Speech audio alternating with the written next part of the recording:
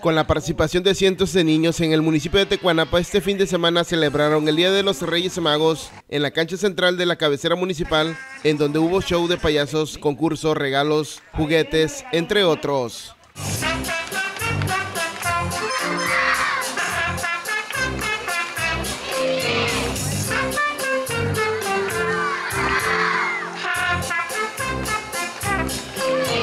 La primera edil tecuanapanense Carmen Iliana Castillo Ávila dijo que los Reyes Magos llegarán a todas las comunidades de Tecuanapa para entregar los juguetes celebrando a los reyes del hogar, a los niños, a las niñas de todo nuestro municipio. Desde días pasados iniciamos con nuestra caravana de entrega de juguetes a todas nuestras comunidades del municipio de Tecuanapa.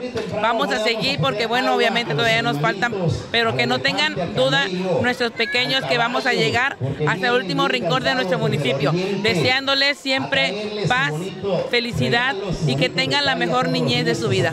Posteriormente, la autoridad de Tecuanapa que preside Carmen Iliana Castillo Ávila y su equipo de trabajo hicieron entrega de juguetes a las niñas y niños presentes. Víctor Manzanares, Rumualdo, RTG Noticias.